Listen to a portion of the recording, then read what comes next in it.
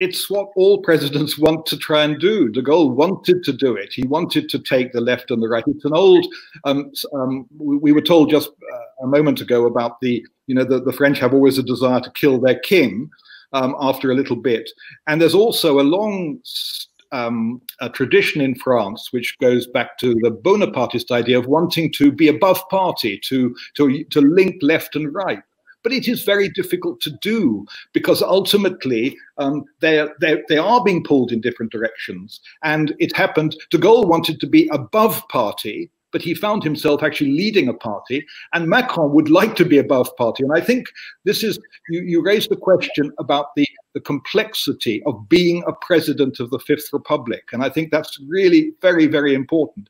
It's an almost impossible job for anyone, including de Gaulle.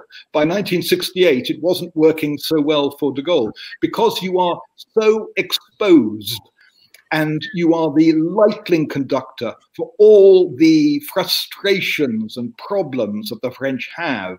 And sometimes the prime minister can act as they call a fusible, as a, as a, as a sort of, um, uh, can take some of that, but sometimes, but it's very, very difficult.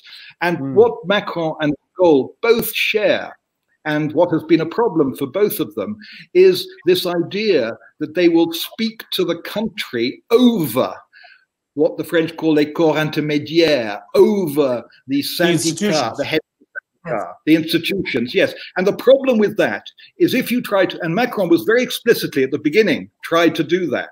Um, he wanted to have a personal relationship with the French which de Gaulle wanted. But the problem with that is that when that goes wrong, you find yourself very, very alone. Sabine Thillaye, uh, when, you, when you ran for uh, to, to be a member of parliament under the uh, under the label of Emmanuel Macron's party, were your your eyes were wide open, right? You knew this could happen.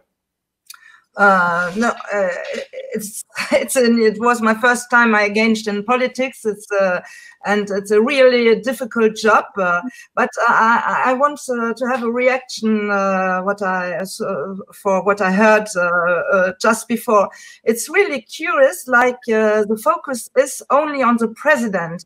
You you said the president lost his majority, but you you don't speak about the parliament, about the parliamentarians.